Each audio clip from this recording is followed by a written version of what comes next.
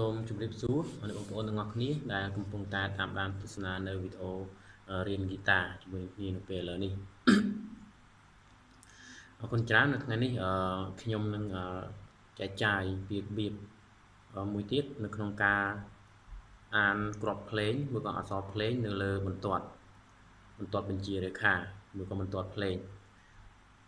អញ្ចឹងសូមមើលទៅកាន់អេក្រង់យើងនឹងមានរូប3ក្នុងការដែលរៀនជាមួយនឹងគ្នា ជាដំបូងអញ្ចឹងរូបទី1 the music stuff ដែលមានក្របដែលមានបន្ទាត់ខ្សែមានចំនួន5វាមិនមែនតំណាងឲ្យបន្ទាត់ខ្សែនេះមិនមែនតំណាងឲ្យខ្សែហ្គីតាដូចការដែលយើងរៀនកាលពីមុនទេអញ្ចឹងអឺខ្សែនេះគឺជាជាខ្សែដែលតំណាងឲ្យឈ្មោះឈ្មោះអ ក្សរភ្លេងអញ្ចឹងយើងមើលខាងក្រោមមានរង្វង់មូលមួយនៅចំបន្ទាត់ទី1ហើយខាងលើមានរង្វង់មូលអឺមួយទៀតនៅចំបន្ទាត់អឺនៅលើបន្ទាត់ខ្សែទី4នៅចំប្រឡោះខ្សែទី4និងខ្សែទី5នៅចំកណ្ដាលអញ្ចឹងនៅក្នុងបន្ទាត់ទី1នេះ គឺជាអឺ ខ្សែមីដែលយើងឲ្យឈ្មោះថាខ្សែមីខ្សែមីហើយគឺជាខាងក្រោមគេហ្នឹងគឺខ្សែមីដែលវាតំណាងឲ្យមីដែលសំលេងសំលេងទៀបអញ្ចឹងនៅពេលយើងយើងរាប់ទៅខាងលើ ខាងលើមានខ្សែមូលមួយទៀតហ្នឹងបន្ទាត់មូលសំទោសក្របមូលមួយទៀតហ្នឹងគឺនៅក្នុងក្របមីដូចគ្នាដែរឈ្មោះឈ្មោះមីដូចគ្នាដែរប៉ុន្តែវាអមីដែលមានសម្លេងខ្ពស់ មានន័យថាឧទាហរណ៍កន្លែងនេះគឺមីនេះខ្សែលើគេនេះមីហើយយើងរាប់មកខាងមុខមកដល់កន្លែងនេះគឺមីដែរប៉ុន្តែមីសម្លេងទៀតបាទសម្លេងដូចគ្នាគ្រាន់តែមួយធំមួយតូចអឺអញ្ចឹងការការអានក្របភ្លេងនៅលើបន្ទាត់ភ្លេងគឺវាអឺយ៉ាងដូចនេះគឺយើងអានអឺនៅ មួយប្រឡោះគឺមានន័យថាតាមលំដាប់ដោយទៅមុខទៅមុខដូចជាកន្លែងនេះខាងក្រោមគឺក្របមីបន្ទាប់មកចូលខាងលើបន្ទាប់មីបន្តិចហ្នឹងគឺក្របហ្វាក្របហ្វាបន្ទាប់មកចូលទៅកណ្ដាលបន្ទាត់ទី2បដ ாய் គឺក្របសុលហើយលើក្របសុលចំកណ្ដាលបន្ទាត់ទី2និងទី3គឺក្របឡា ហើយចំកណ្ដាលបន្ទាត់ទី3គឺក្រប C ហើយពាក់កណ្ដាលបន្ទាត់ទី3និងទី4ប្រឡោះទី4ទី3និងទី4គឺក្របដូដូហើយឡើងទៅលើបន្ទាត់ទៀត Re បន្ទាប់មកចូលដល់ប្រឡោះកណ្ដាលទី4ទី5នេះគឺក្របមីហើយយើងរាប់យ៉ាងដូចនេះគឺមានន័យថាមិនមែនរាប់មួយបន្ទាត់មួយបន្ទាត់មួយបន្ទាត់ទេឡើងទៅលើទេ គឺរាប់ អឺមួយបន្ទាត់ហើយចូលប្រឡោះកដាលមួយបន្ទាត់ចូលប្រឡោះកដាលមួយបន្ទាត់ចូលប្រឡោះកដាលដែលវាឡើងមួយកម្មមួយកម្មមួយកម្មទៅរហូតអញ្ចឹងមើលមកកាន់រូបទី2យើងនឹងឃើញមានអឺមានមីសលស៊ីរ៉េហ្វាអញ្ចឹងជាការពិតគឺអឺក្របឈ្មោះអក្សរភ្លេងរបស់យើងគឺមានដូរ៉េមីហ្វាសលឡាស៊ីដូវិញអញ្ចឹងមានថាបន្ទាប់ពីមី បន្ទាប់ពីមីគឺត្រូវហ្វាហ្វាហើយបានសលសលហើយបានឡាឡាហើយបានស៊ីស៊ីហើយបានបានដូប៉ុន្តែនៅក្នុងរូបភាពទី2របស់យើងនេះគឺមានមីសលស៊ីរ៉េហ្វាវិញមានន័យថានៅចន្លោះមីហើយនឹងសលគឺក្របហ្វានៅចន្លោះនឹងគឺក្របហ្វាបន្ទាប់មកនៅចន្លោះសលហើយនឹងស៊ីគឺត្រូវតែជាក្របឡា បន្ទាប់មកបន្ទាប់ចន្លោះអឺ C ហើយនឹង Re គឺក្របដូបន្ទាប់មក Re នៅចន្លោះ Re ហើយនឹង Fa គឺក្របមីអញ្ចឹងនៅក្នុងរូបភាពទី2នេះគឺយើងអឺសង្កេតទៅលើតែក្របភ្លេងនៅលើនៅលើចំកណ្ដាលបន្ទាត់យើងអត់ទាន់ចំប្រឡោះបន្ទាត់ទេអញ្ចឹងនៅមើលរូបភាពទី3យើងនឹងឃើញនៅអឺ តើក្របភ្លេងដែលនៅកដាលប្រឡោះបន្ទាត់មានក្របអីខ្លះអញ្ចឹងប្រឡោះបន្ទាត់មាន fa មាន la មាន do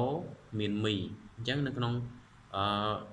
ប្រឡោះប្រឡោះបន្ទាត់គឺមាន4ក្របហ្នឹងអញ្ចឹងអឺយើងបានមើលហើយនៅពេលយើងមើលទាំងពីរគឺមាន mi ហើយចូលប្រឡោះបន្ទាត់ fa fa ហើយបានចូលកណ្ដាលបន្ទាត់ sol sol ហើយចូលប្រឡោះបន្ទាត់ la la ហើយបានចូលកណ្ដាលបន្ទាត់ C C ហើយចូលកដាលបន្ទាត់ដូដូហើយកដាអឺអឺកដាលចំបន្ទាត់ Re Re ហើយចូលដល់ប្រឡោះប្រឡោះកដាលបន្ទាត់មីមីហើយបានចូលកដាលបន្ទាត់ Fa អញ្ចឹងមានថាគឺពីមួយខ្សែទៅមួយខ្សែគេមិនរាប់ផ្លោះទេគឺរាប់អឺខ្សែចូលប្រឡោះខ្សែចូលប្រឡោះខ្សែចូលប្រឡោះវិញគឺមួយក្រុមមួយក្រុមឡើងទៅលើ អញ្ចឹងអឺសូមយើងមើលមកកាន់ខាងក្រោមមួយទៀតអឺគឺនិយាយអំពីអឺ music note តើវាមានប្រមាណប្រភេទអញ្ចឹង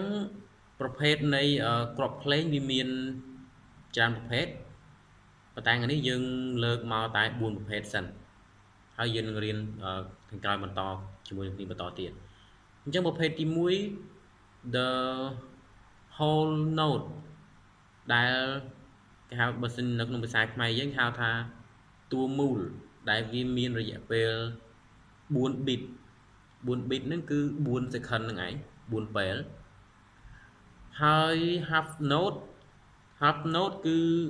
គេហៅថាតួសវាមានរយៈពេល2 bit 2 second ហើយ quarter note គឺតួខ្មៅតួខ្មៅគឺមានរយៈពេលតែ1 bit ទេ ហើយនឹងចុងក្រោយមួយទៀតគឺ age node គឺមានរយៈពេល1ភាគ2 bit មានថាកន្លះអញ្ចឹងទី1មាន4តួមូលមាន4តួសមាន2តួខ្មៅមាន1តួ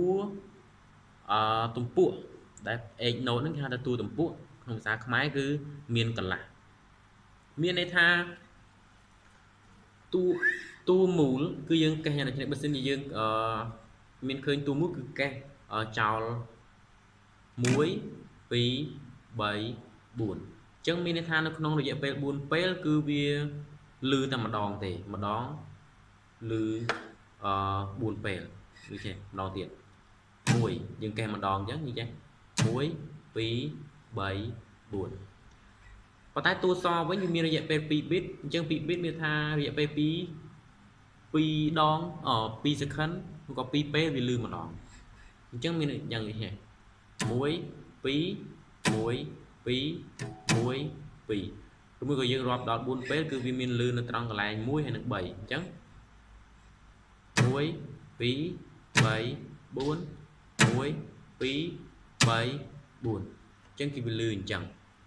ហើយអឺតួខ្មៅវាមានតែមួយពេលទេអញ្ចឹងយើងគឺយើងកេះ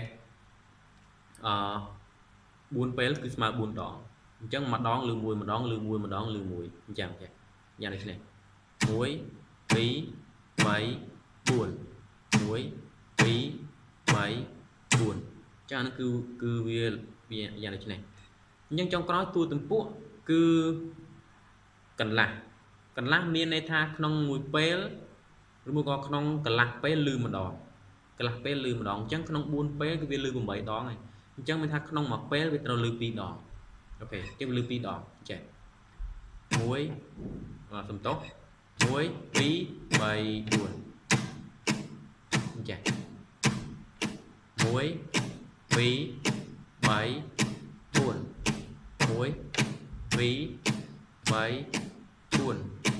1 and 2 and 3 and 4 and 1 and 2 and 3 and អញ្ចឹងសង្ឃឹមថាអ្នកទាំងអាចនឹងយល់ហើយ